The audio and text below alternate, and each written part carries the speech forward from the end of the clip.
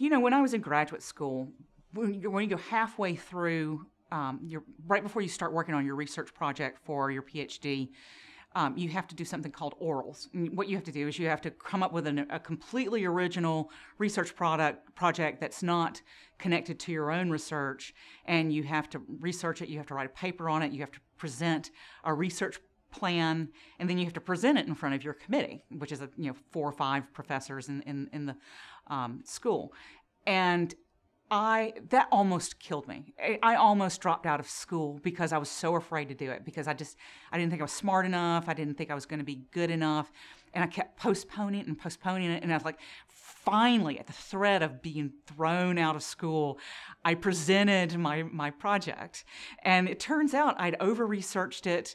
Um, I had gone way above anything I was supposed to do, and, and so when I when I finished that, I was like anytime I ever see an obstacle that I think is uh, insurmountable, I want to remember how foolish I feel right now because, you know, it, it's probably not as difficult an obstacle as you think it is. But I almost had to be thrown out of school to figure it out.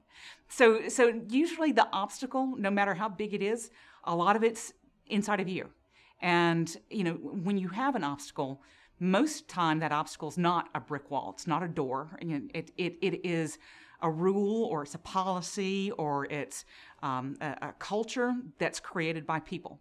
And so when you deal with obstacles you're really dealing with people. So one of the things that i think helps me overcome obstacles is that I have good relationships with lots of people. I try, I try not to create enemies, and I try not to hold grudges. Um, it's not always, you know, you know, always possible, but I, I try to keep 99.9% of the people that I know as my friend.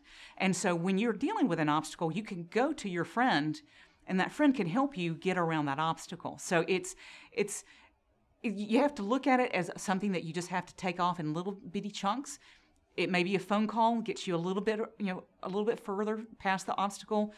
Another phone call, another email. You might have to go visit with somebody. You might have to go influence somebody. But you know, obstacles are not something that you can just leap over. It's something that you have to have help with, and you have to do it in little tiny bits.